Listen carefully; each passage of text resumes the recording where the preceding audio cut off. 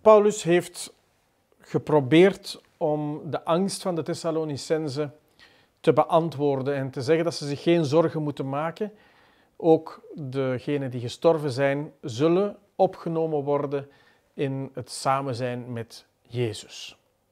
En nu lijkt het alsof Paulus anticipeert op een wedervraag, namelijk wanneer zal dat zijn? Het heeft geen zin, broeders, u te schrijven over tijd en uur.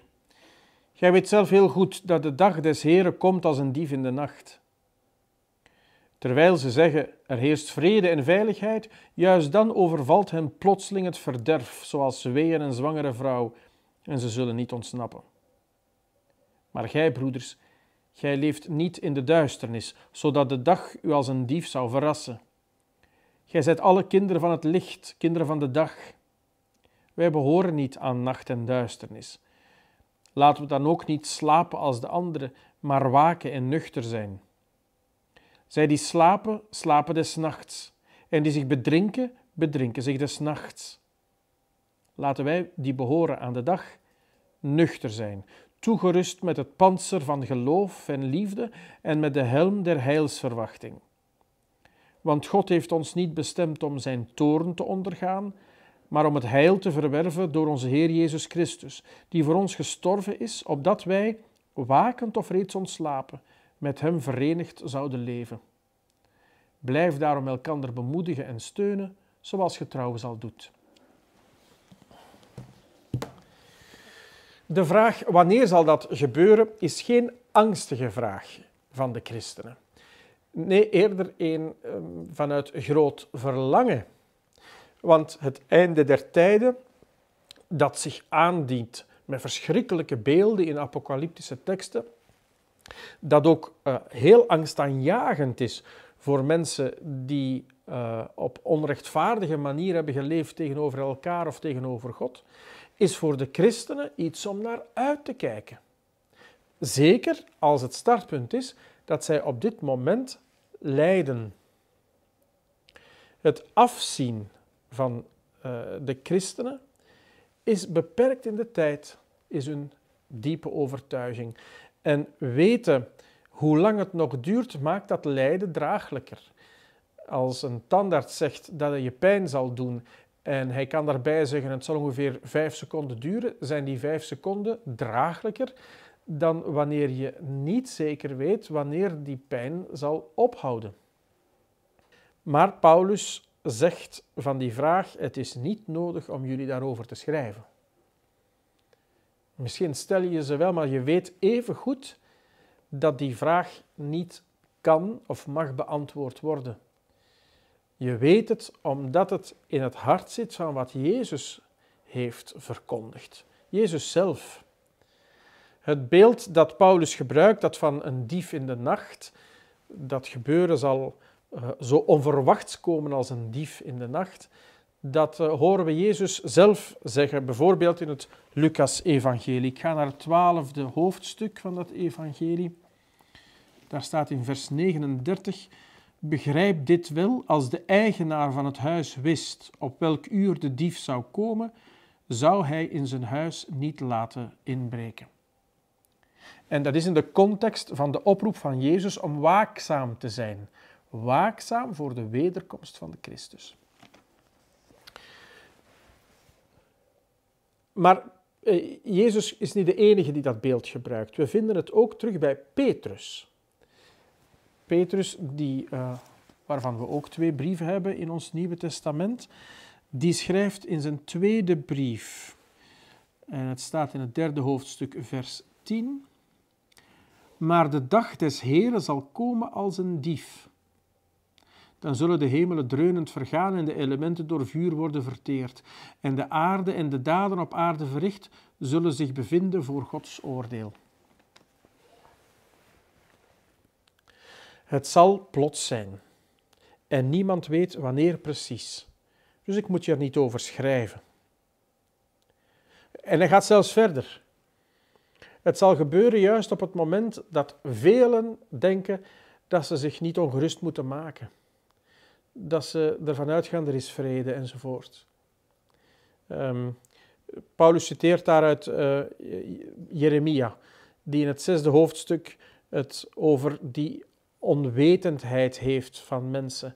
En, en hoe tragisch het is dat mensen zichzelf veilig wanen, juist, juist voor het moment dat daar voor eens en voor altijd een einde aan zal komen. We weten het niet wanneer het zal zijn. Maar, zegt Paulus aan de christenen van Thessalonica, voor ons is dat eerlijk gezegd ook niet zo belangrijk. En dan gebruikt hij allerlei beelden om duidelijk te maken aan die christenen, wij zijn er klaar voor. Licht en donker, dag, nacht, wakker en slapend, nuchter en dronken. Dat zijn de tegenstellingen die Paulus gebruikt. Iedereen die niet klaar is voor de komst van de Christus, zit in het donker, leeft in de nacht, is in slaap gesukkeld of is uh, het bewustzijn kwijt door dronkenschap. Maar wij leven in het licht, in de dag. Wij zijn wakker, wij zijn nuchter. Wij zijn er klaar voor. Wij hebben een heldere blik. En hij mag hier en nu komen voor ons. Ook uit Jezaja citeert Paulus dan. Um, het is misschien goed om, om daar even naartoe te gaan. Jezaja hoofdstuk 59, vers 17. Hij trok de gerechtigheid aan als een panzer, zette de helm van het heil op zijn hoofd. Hij hulde zich in het kleed van de wraak, sloeg naijver als een mantel om.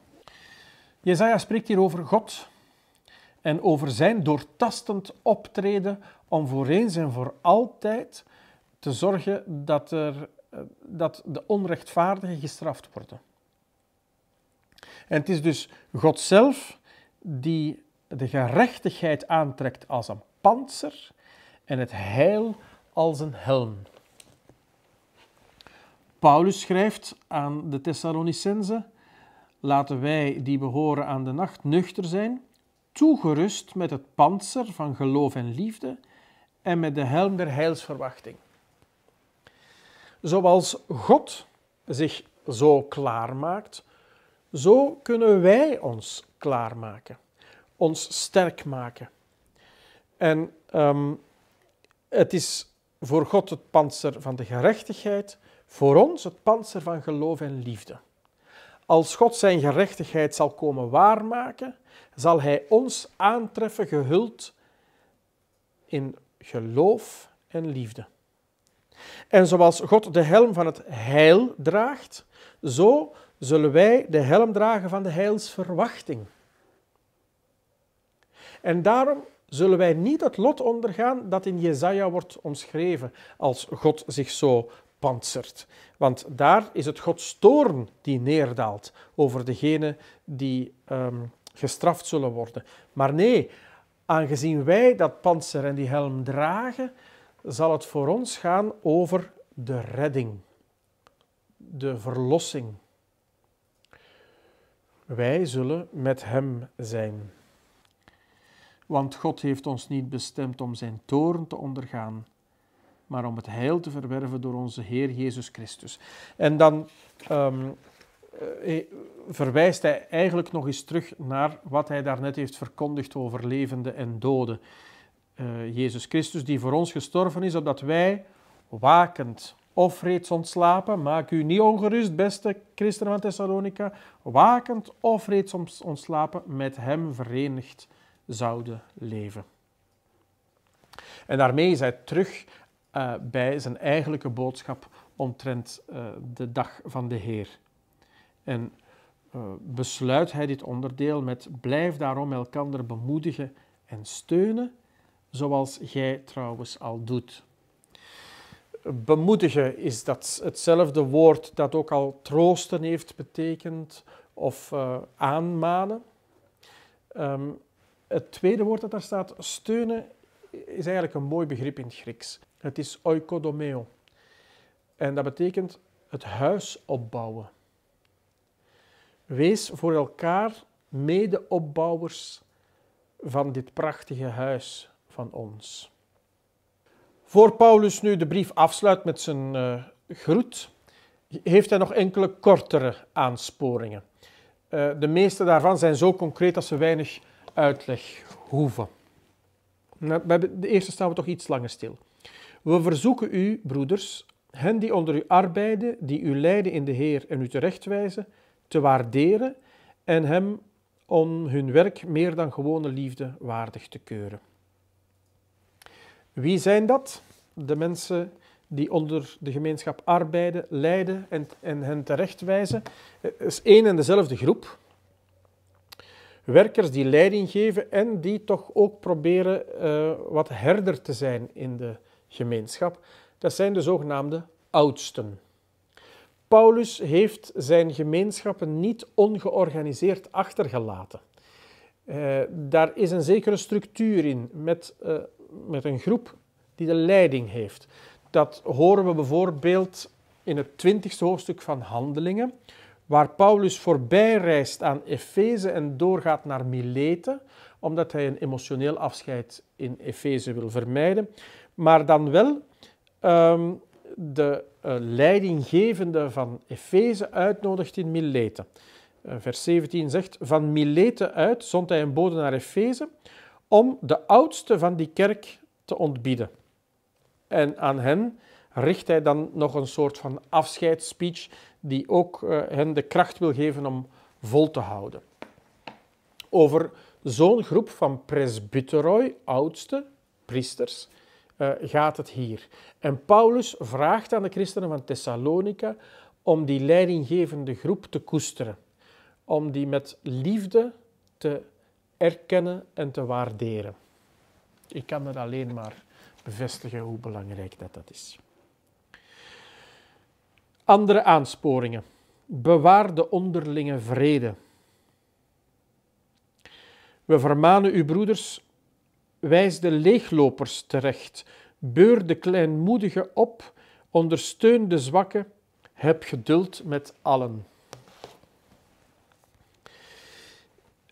Um, leeglopers zijn degenen die de weg zijn kwijtgeraakt.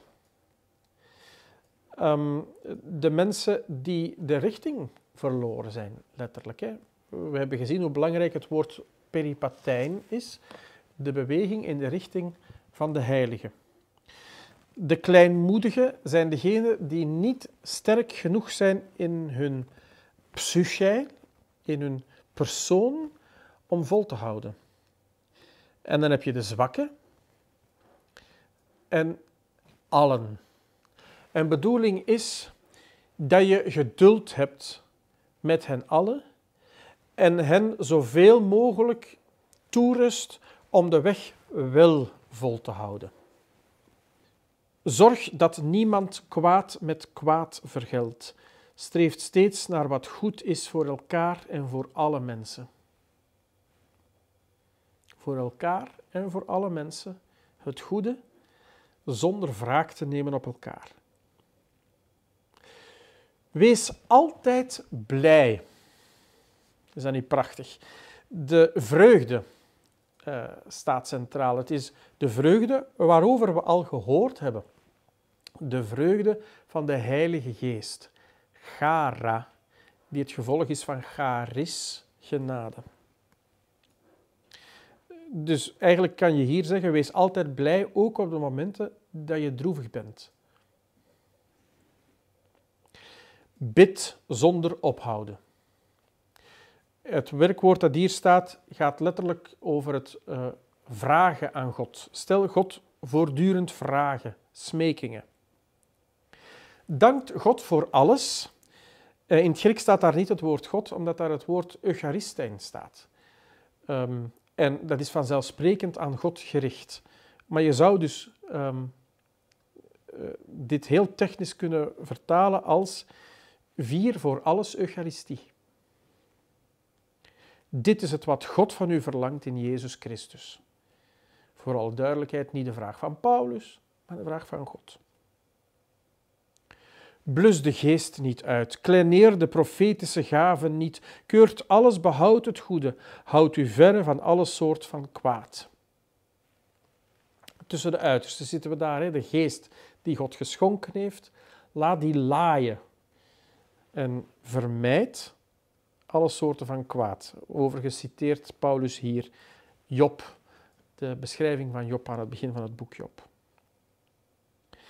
En dan formuleert hij een gebedswens. De God van de vrede, hij mogen u heiligen, geheel en al, heel uw wezen, geest, ziel en lichaam mogen ongerept bewaard zijn bij de komst van onze Heer Jezus Christus. Die u roept is getrouw, hij zal zijn woord gestand doen. Broeders, bid ook voor ons, en nu sluit hij echt af. Groet al de broeders met een heilige kus. Een heilige kus is uh, echt een, een kus op de mond. En het was in die cultuur niet ongewoon dat mannen elkaar zo groeten en dat vrouwen elkaar zo groeten. De broeders en zusters van de gemeenschap worden uitgenodigd om dat met elkaar te doen. Ik bezweer u bij de Heer dat je deze brief aan al de broeders laat voorlezen. De genade van onze Heer Jezus Christus zij met u. En met deze warme groet eindigen we de lezing van de eerste brief aan de christenen van Thessalonica.